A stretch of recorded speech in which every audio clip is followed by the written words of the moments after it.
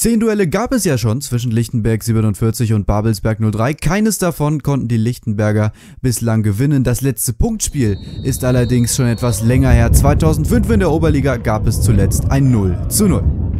Inzwischen beide Mannschaften ja eine Klasse höher. Die Babelsberger beginnen in Blau von links nach rechts. Mit Morche kann ihn da durchstecken und der Ball landet bei Danko. David Danko, 26 Jahre ist er jung, noch konnte der Kapitän für die Babelsberger kein Saisontor erzielen. Doch die Mannschaft von Uwe Lehmann weiß zu antworten. Sinan, stark bearbeitet von Patrick Jahn. Hodolwitz versucht es aus der Distanz, aber noch geht er weit am Tor von Gladrow vorbei. Wieder die Berliner in der Vorwärtsbewegung. Diesmal geht es über links mit Außenverteidiger Olo. Bringt die Flanke scharf herein. Der Ball landet bei Christian Gave.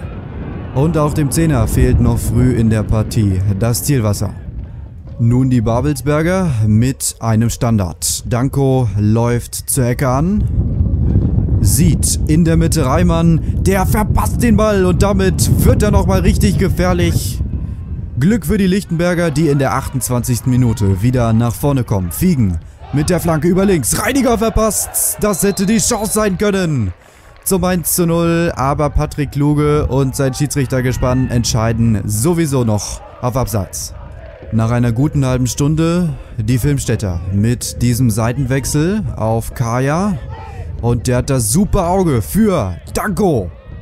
Beim Abschluss eher auf die Polizeiwagen geachtet, dennoch beide Mannschaften arbeiten hoch konzentriert an der Führung und so bleibt es ein hochspannendes, hochintensives Spiel. Holo entscheidet sich mal nicht für die direkte Flanke, sondern geht ins Dribbling, macht das stark! Aber der Ball geht am Ende nicht zu Thomas Brechler oder Christian Gave, die den Ball verarbeiten können. 35. Minute, wieder Lichtenberg, Reiniger spielt ihn auf den Flügel, Aufgabe und der kann ihn tatsächlich reinbringen! Und diesmal ist Gladrow zur Stelle. Mit einer Glanzparade verhindert er die Lichtenberger Führung. Auch zum Anpfiff der zweiten Halbzeit. Beste Stimmung im Zoschke. Über 1200 Zuschauer sind bei diesem perfekten Fußballwetter hier nach Berlin-Lichtenberg angereist. Drei Minuten nach Wiederbeginn. Ein Freistoß für Lichtenberg. Christian Gave bringt ihn rein und Jonas Schmidt steigt hoch kann den Ball allerdings nicht aufs Tor befördern und das ärgert den Innenverteidiger, der der Defensive auch die gewisse Stabilität verleiht, die sie benötigen. 62. Minute, Garve über links und der sieht Pascal Eifler! Riesenchance, gerade mal eingewechselt für Patrick Jahn, hätte er schon nach zwei Minuten den Führungstreffer markieren können.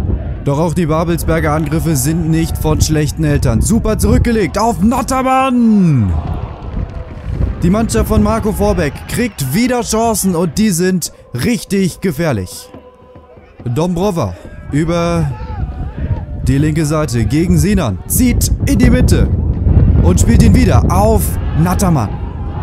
Wieder geht ein Raunen durch das Stadion. Die Zuschauer wollen unbedingt einen Treffer sehen, egal für welche Mannschaft.